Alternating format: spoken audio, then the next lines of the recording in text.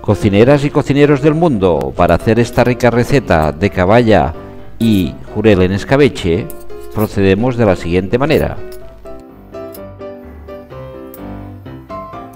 En un principio he cortado los pescados a trozos y los pasamos por harina.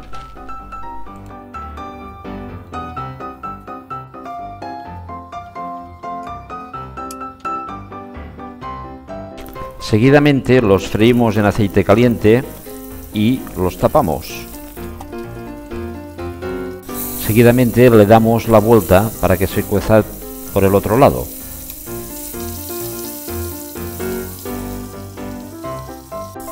Cuando esté hecho lo reservamos.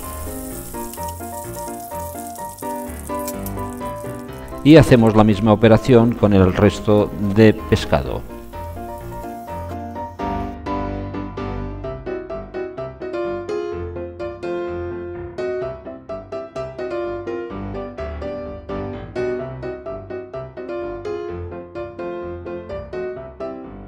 Seguidamente colamos este aceite a otra olla más profunda y añadimos un poquito más.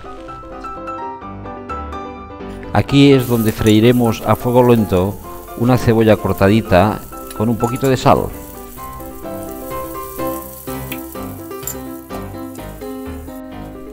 A los 5 minutos de cocción añadimos dos zanahorias cortaditas a trozos.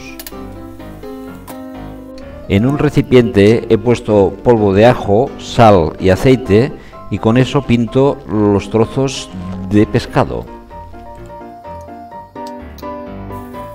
Volviendo a nuestra olla le añado pimienta negra en grano, pimentón dulce, tres hojas de laurel y un vaso de vinagre.